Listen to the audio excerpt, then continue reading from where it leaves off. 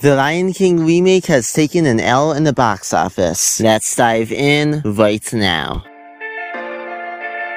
The Lion King 2019 was a quote-unquote live-action remake made of the original Lion King movie. Many people called out Disney because labeling the remake a live-action movie was a bit of a stretch because almost all of it was CGI, so it was basically an animated remake of an animated movie being marketed for audiences that think animation is just for kids. Not only that, but in my opinion, and the opinion of so many other people, is that the remake sucked out all of the energy and visual personality of the original and was a way inferior movie. Despite this, the remake somehow made over $1.6 billion in the box office. But now it's being reported the Mario movie has made even more than the live-action Lion King's box office, despite the Mario movie having a much lower critic score on Rotten Tomatoes. A lot of animation fans are celebrating now, though some people on the internet are coming out to defend the Lion King remake, saying it's not not as bad as many people say it is. Where do you stand on The Lion King 2019? And are you happy the Mario movie beat its box office numbers? Let me know in the comments below. And thanks so much for watching this video. Feel free to like, share, and subscribe if you enjoyed.